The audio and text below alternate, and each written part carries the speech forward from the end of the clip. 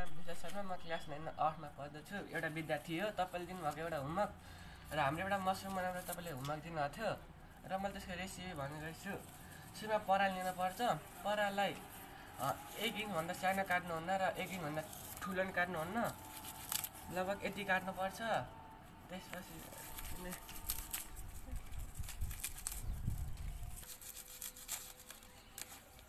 र यसरी काट्नुपर्छ धेरै धेरै। यति काटेपछि यसलाई यसलाई भिजाउनु पर्छ भिजाउनुभन्दा पानी भिजाउनु पर्छ र भिजाएपछि त्यसलाई उमाल्नु पर्छ जम्मा यति भयो मेरो। अझै काट्नुपर्छ मैले।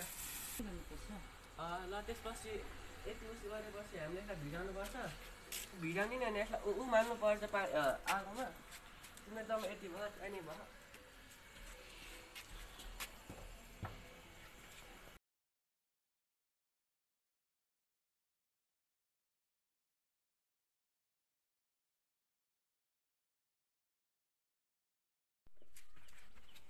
यो मलाई पनि देखाउनु न। देखाउन न। यसलाई अब खनाउनु पर्छ।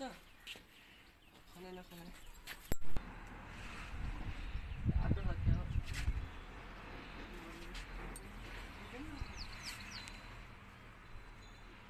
प्लास्टिकमा हाल्नुपर्छ बिउसँग यसलाई परालले बिउ जस्तै हाल्नु। पराल खाने अब यससँग पराल यति हाल्नुपर्छ त्यसपछि फेरि बिउसँगै पराल बिउ पराल बिउ जस्तै हाल्नुपर्छ। फेरि पला।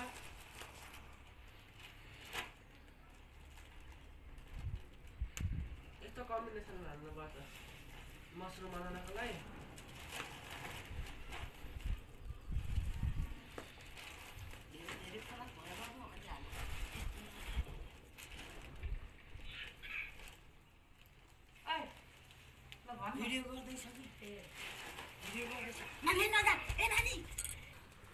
यसलाई यसलाई यो प्लास्टिकलाई भर्न पर्छ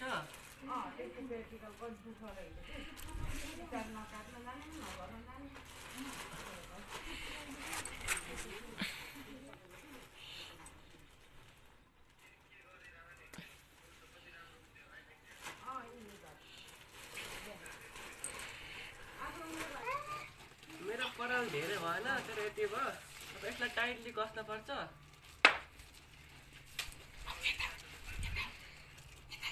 हो भयो। त्यसै यो मेरो धेरै भएन। फेरि यसलाई झुनाउनु पर्छ एउटा ठाउँमा पहिला पाल पाल्नुपर्छ पाल पाल्नको लागि सानो सानो पाल गर्नुपर्छ धेरै गर्ने यसलाई। मेरो थोरै भयो तेह्र पाँच छवटा गरे हुन्छ यतापट्टि ल यति भयो भने फेरि यस- एउटा एउटा ठाउँमा झुनाउनु पर्छ धेरै भएन यति